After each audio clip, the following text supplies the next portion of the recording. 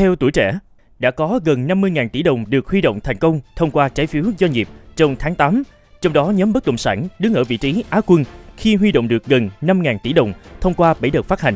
Cụ thể ra sao? Xin mời quý vị theo dõi trong video này nhé.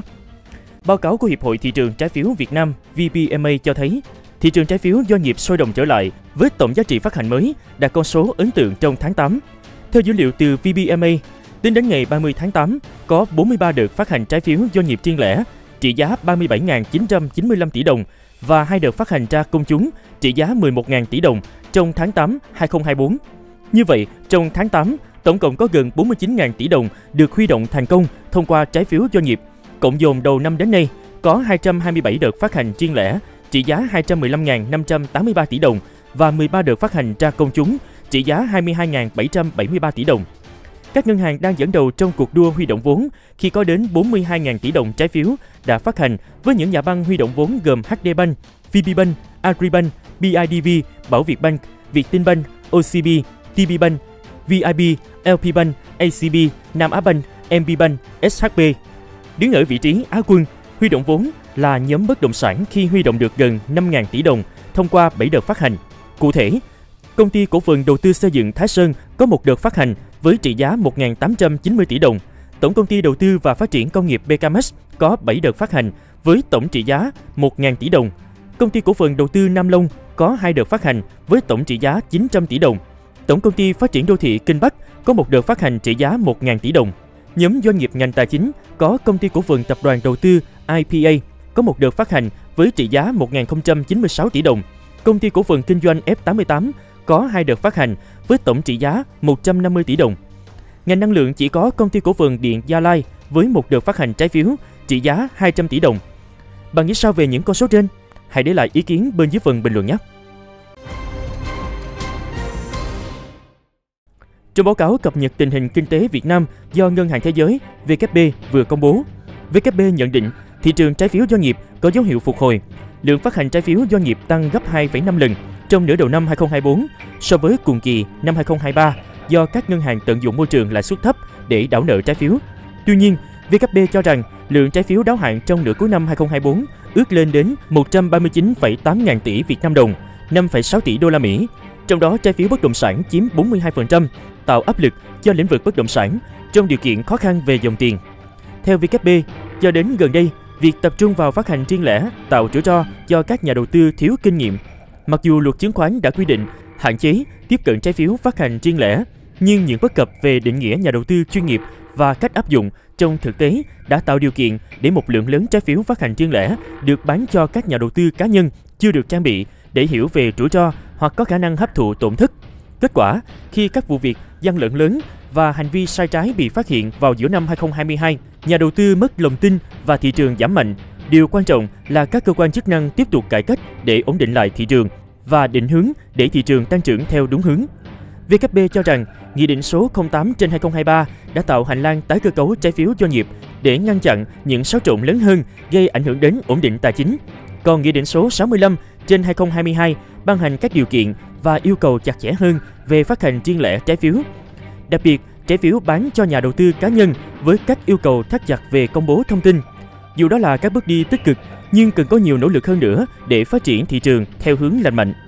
Những việc cần làm tiếp theo bao gồm tăng cường tiêu chí xác định nhà đầu tư chuyên nghiệp và cách áp dụng, mở rộng việc sử dụng xếp hạng tín nhiệm, khuyến khích các quỹ đầu tư đại chúng phát triển để tập hợp các nhà đầu tư nhỏ lẻ và đẩy mạnh tính chuyên nghiệp trên thị trường, tối ưu hóa kênh phát hành đại chúng và tăng cường minh bạch thông tin trước và sau giao dịch, VKB khuyến cáo. Trong tháng 8, các doanh nghiệp đã mua lại 11.023 tỷ đồng trái phiếu trước hạn, giảm 45% so với cùng kỳ năm 2023.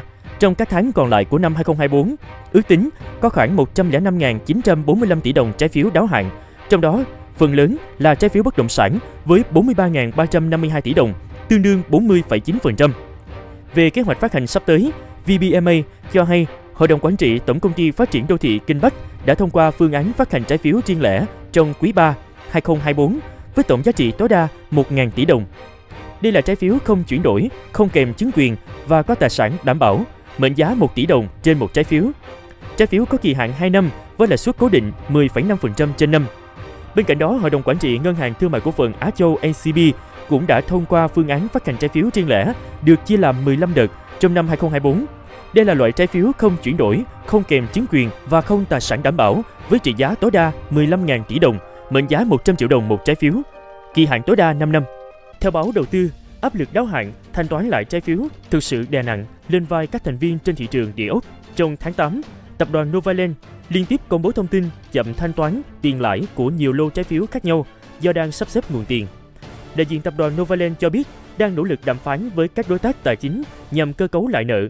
Mặc dù thời gian qua đã nhận được nhiều sự đồng hành của các đối tác, cùng việc nhiều đơn vị xây dựng sẵn sàng thi công dự án, nhưng vẫn còn một số bên cho vay quốc tế chưa đồng thuận với phương án của Novaland. Với nhóm đối tác này, Novaland cho biết sẽ tiếp tục đàm phán trên tinh thần cầu thị và mong muốn tìm giải pháp thương lượng. Khi các vướng mắc về pháp lý được tháo gỡ và bài toán tài chính được giải quyết bằng mọi nguồn lực và nỗ lực của mình, cùng sự chỉ đạo triệt để của chính phủ, sự đồng hành của các bên liên quan, Novaland sẽ giải quyết thỏa đáng mong muốn của các đối tác, nhà đầu tư. Đại diện Novaland khẳng định, các doanh nghiệp bất động sản bằng mọi cách xoay sở để cải thiện dòng vốn, trong đó có phát hành cổ phiếu, bán dự án để xử lý các khoản nợ trước mắt. Tương tự, một thành viên thuộc hệ sinh thái của tập đoàn Hưng Thịnh là công ty cổ phần dịch vụ giải trí Hưng Thịnh Quy Nhơn cũng nhiều lần chậm thanh toán lại trái phiếu với lý do thị trường tài chính, giao dịch bất động sản diễn biến không thuận lợi nên công ty chưa thu xếp kịp nguồn tiền để thanh toán lại trái phiếu đúng hạn. Trong tháng 8 2024, VIS Rating ước tính khoảng 7.300 tỷ đồng trong số 18.600 tỷ đồng trái phiếu đáo hạn có rủi ro cao không trả được nợ gốc đúng hạn, chủ yếu từ các ngành bất động sản, dân cư và năng lượng. Trong số trái phiếu đáo hạn rủi ro cao của tháng 8 2024, có 4.300 tỷ đồng trái phiếu do các công ty thuộc nhóm ngành xây dựng và bất động sản dân cư phát hành. Ước tính 12 tháng tới, khoảng 20% trong tổng giá trị 259.000 tỷ đồng sẽ đáo hạn có rủi ro cao bị chậm trả. 90% trong số đó đã từng chậm trả lãi coupon ít nhất một lần và đang có tỷ lệ đòn bẩy rất cao, nguồn tiền mặt thấp và biên EBITDA thấp. Nỗ lực tái cấu trúc thời gian qua của nhiều doanh nghiệp địa ốc đã thu được kết quả nhất định. Khó khăn chung của thị trường về cơ bản đã qua, nhưng vẫn còn nhiều trở ngại khiến tiến trình phục hồi của các doanh nghiệp chưa đạt như mong muốn. Ông Lê Hồng Khang, giám đốc phân tích và xếp hạng tín nhiệm FinRatings đánh giá nửa đầu năm nay tình hình kinh doanh của doanh nghiệp bất động sản thấp so với 5 năm trở lại đây, ngoài trừ số ít doanh nghiệp quy mô lớn có quỹ đất sạch, pháp lý rõ ràng là ghi nhận kết quả kinh doanh tích cực. Còn đa phần doanh nghiệp bất động sản cỡ vừa đang trong tư thế chờ đợi. Theo ông Khang, hầu hết doanh nghiệp bất động sản phải đối mặt và xử lý hai bài toán lớn. Một là khả năng tiếp cận nguồn vốn khó khăn hơn trước đây. Doanh nghiệp có thể tiếp cận nguồn vốn đa dạng và linh hoạt từ hợp đồng hợp tác, đầu tư, từ người mua nhà, trái phiếu, vay ngân hàng thì hiện nay các kênh này đều tắt. Các ngân hàng đều nâng cao tiêu chuẩn, sàng lọc rất kỹ trước khi rót vốn vào dự án bất động sản. Ông Khang nói, hay là tiến độ phục hồi của thị trường vẫn còn nhiều khó khăn. Bên cạnh thông thoáng về pháp lý, còn cần tới nỗ lực của doanh nghiệp để xử lý các vấn đề tài chính. Bạn nghĩ sao về ý kiến này? Hãy để lại quan điểm của bạn bên dưới phần bình luận nhé. Đừng quên bấm nút theo dõi kênh để cập nhật liên tục các thông tin mới nhất, nóng nhất liên quan đến thị trường bất động sản nhé.